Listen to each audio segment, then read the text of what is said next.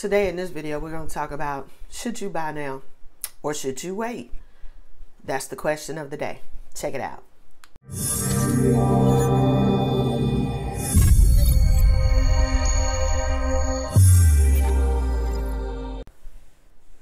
Hi, I'm Rhonda Burgess and I'm a real estate broker and mortgage underwriter here in the Nashville, Tennessee area.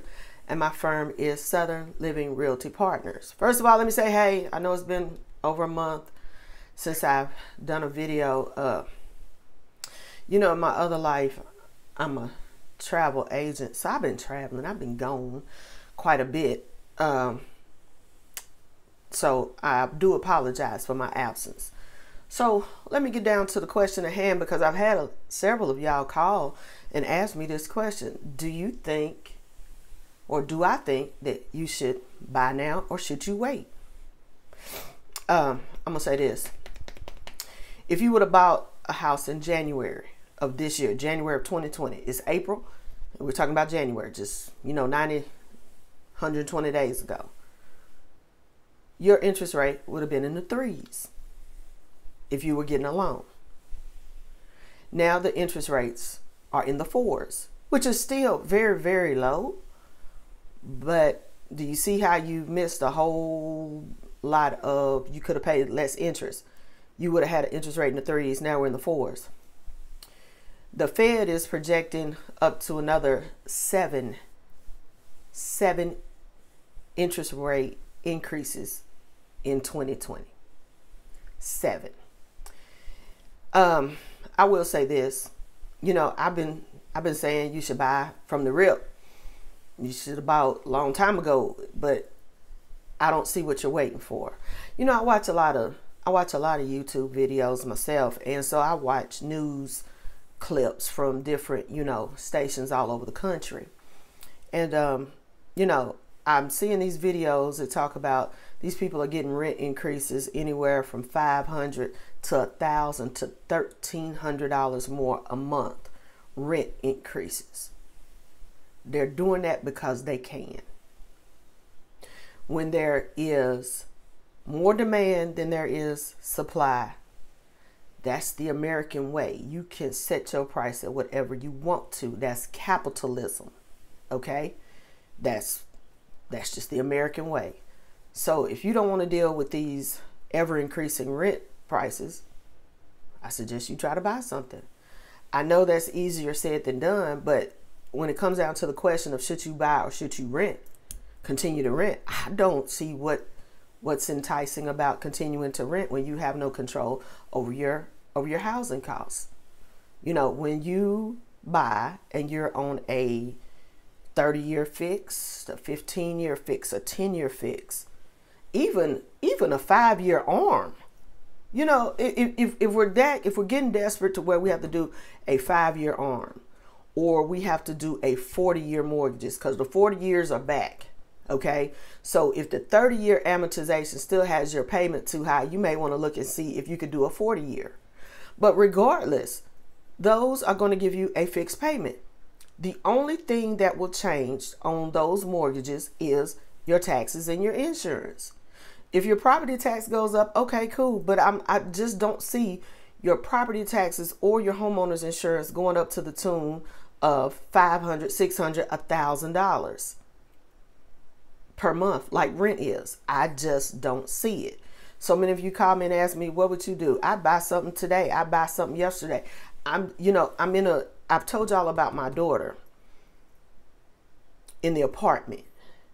At this point, I am really, really racing to get her ready to buy because I want her to buy before the interest rates get too much higher. It's just that plain and simple. Because um, my feeling is now, if she can pay rent, she can she can pay a house, she can pay a mortgage. Okay, so we we're rushing to get her ready sooner rather than later to buy. And that's just my suggestion to everyone, uh, especially those of you who call, do it because the interest rate is just going to get higher. It's not going to go down. Second of all, I know it's hard when your lender when you're paying $2,000 a month in rent and you only can afford or the mortgage company tells you you're only qualified for a $1500 a month payment. I know it don't make no type of sense. It don't make no type of sense. Because the issue that's happening now is a lot of people your housing is 50 or 60% of your income.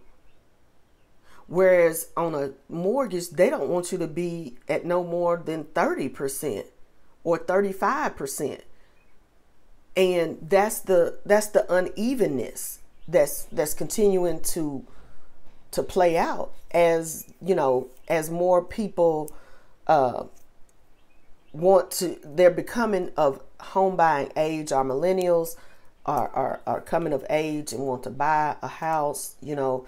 Um, we've got you know people that are close to retirement or you're retiring and, and, and you you want another house or you you're looking at a house in a different state or whatever. So as the demand continues to be high i just don't see any other way to do this.